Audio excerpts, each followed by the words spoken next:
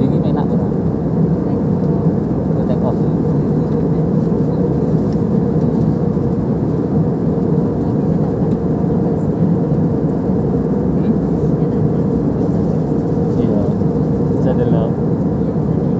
Hãy subscribe cho kênh Ghiền Mì Gõ Để không bỏ lỡ những video hấp dẫn